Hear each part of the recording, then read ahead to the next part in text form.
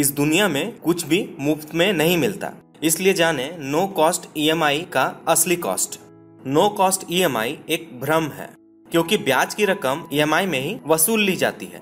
यह बात अलग है कि कई बार हमें साफ़ साफ़ नहीं दिखता कि हमसे कितने पैसे चार्ज किए जा रहे हैं। त्योहारों के मौसम शुरू होते ही ऑनलाइन और offline retail mobile phone, electronic सामान आदि पर नो कॉस्ट ईएमआई या ज़ीरो कॉस्ट ईएमआई ऑफ़र आ जाता है। बाज़ार का एक कटु सत्य है कि यहाँ असल में कुछ भी मुफ़्त में नहीं मिलता।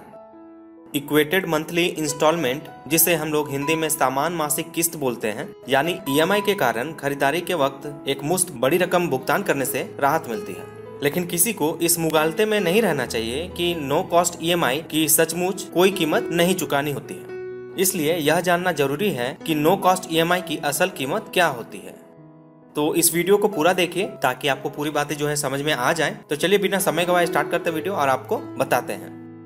माई लोन केयर के फाउंडर गौरव गुप्ता के अनुसार ज़्यादातर ऑफलाइन और online retail consumer durable loan के लिए खास वित्तीय संस्थाओं से समझौता करते हैं ताकि वे उन ग्राहकों को भी इलेक्ट्रॉनिक्स अप्लायंसेज गैजेट्स आदि बेच सकें जो पूरी पैसे देकर खरीदारी नहीं कर सकते। हालाँकि ऐसे लोन को नो कॉस्ट ईएमआई के रूप में प्रचारित किया जाता है। लेकिन वास्तव में इस पर 16 से 24 परसेंट तक की ऊँची ब्याज दर लागू होती है।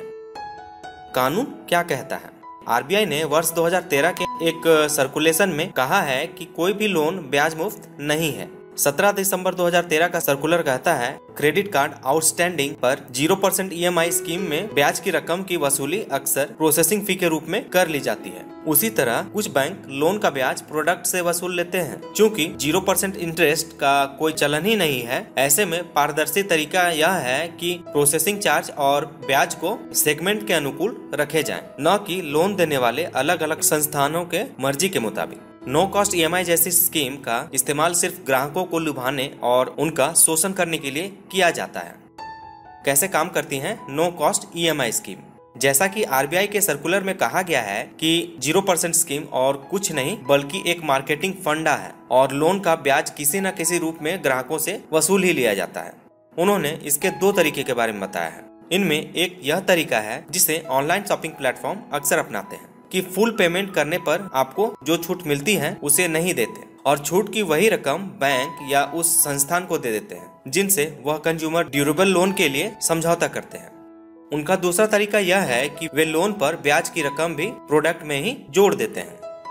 अब हम आपको बताने जा रहे हैं कि ये स्कीम कैसे काम करते हैं। जब ब्याज के बराबर छूट मिल रही हो, अक्सर ई कॉमर्स प्लेटफॉर्म यही तरीका अपनाते हैं। वे ब्याज की रकम के बराबर डिस्काउंट ऑफ़र करते हैं मान लीजिए आप जो फ़ोन खरीदना चाहते हैं, उसकी कीमत पंद्रह हज़ार रूपए है। तीन महीने की ईएमआई प्लान में पंद्रह परसेंट की दर से ब्याज वसूला जाता है। इस तरह आपको दो हज़ार दो सौ पचास रूपए का ब्याज देना होता है। आप फ़ोन की जो कीमत अदा करते हैं, उसे दो भागों में बांटा जाता है। एक हिस्सा रिटेलर के पास, जबकि दूसरा हिस्सा ब्याज के रूप में बैंक या अन्य वित्तीय संस्थान के पास चला जाता है।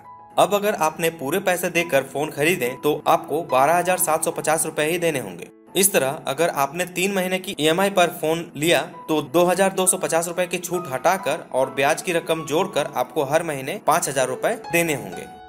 जब सामान के दाम में जुटता है, ब्याज। अब मान लीजिए कि कोई फ़ोन पंद्रह हज़ार रूपए का है और रिटेलर तीन महीने की नो कॉस्ट ईएमआई पर सत्रह हज़ार दो सौ पचास रूपए में फ़ोन दे रहा है। तो स्पष्ट है कि वह दो हज़ार दो सौ पचास रूपए आपसे ब्याज के तौर पर ले रहा है।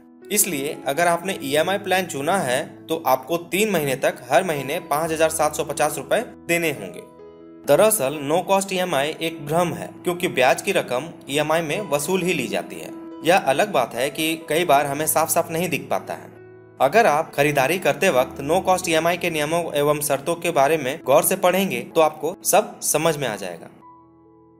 आई होप आपको ये जानकारी पसंद आई होगी और अगर आपने कोई फ़ोन या इलेक्ट्रॉनिक्स अप्लाइंसेज या फिर और भी जो प्रोडक्ट है जो ईएमआई में मिलते हैं, अगर आप लेने जा रहे हैं तो एक बार ज़रूर ये पता कर लें कि आपसे कितने परसेंट चार्ज जो है वो नो कॉस्ट ईएमआई के आड़ में आपसे वसूले जा रहे हैं।